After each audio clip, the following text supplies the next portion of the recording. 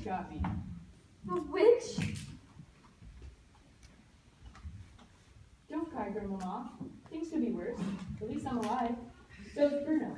The witch got him too. He's in Mordor.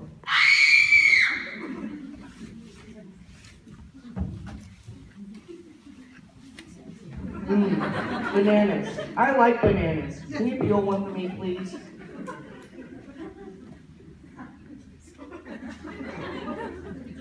Say something, Grandmama. Oh, my darling boy. My poor speech darling, what has she done to you? It's all right, really. I'm getting used to it. It's quite fun when you get the hang of it. Where did it happen? There's the bitch now. Is she in this hotel? Room 454. She's the Grand High Witch of all the world. Grand High witch here? Yeah, and there are ma- masses of other witches in the hotel too. You don't mean they're having their annual meeting here? They've had it. I was there, hiding. They call themselves the Royal Society for the Prevention of Cruelty to Children. Huh.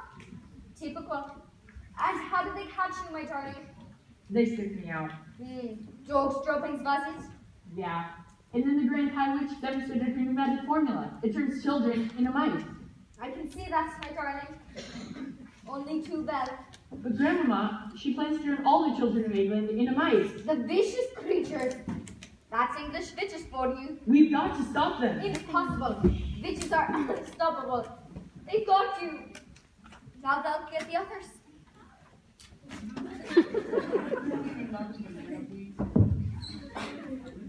Doesn't she ever stop eating? No. And that's another thing, Grandmama. Bruno's parents. They don't know he's a mouse. I can deal with that. But stopping the witch's grand plan is another kettle of fish. Down these children, do them in. Boil their bones and fry their skin. Beat them, squeak them, bash them, mash them, break them, shake them, slash them, smash them. It's her, Grandmama. It's her. Grand High Witch?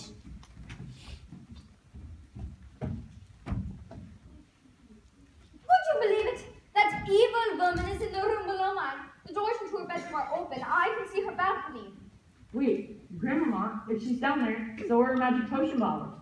Well, If I could only steal one tiny bottle. 500 doses. Works on grown-ups as well as children, she said.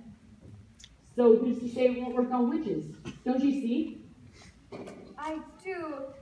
I do see. Witches who are meeting for dinner at 8 o'clock tonight. And there's no time to waste. My brilliant, darling, daring boy. Mouse, Boy mouse, then. For the salvation of the children of England. Action! Grandmother thought hard. Then she had a brilliant idea. She took the scarf she was knitting and carefully placed the boy mouse inside of it. Then, unraveling the ball of it, she carefully lowered it to the balcony below. Out you get. Hurry up.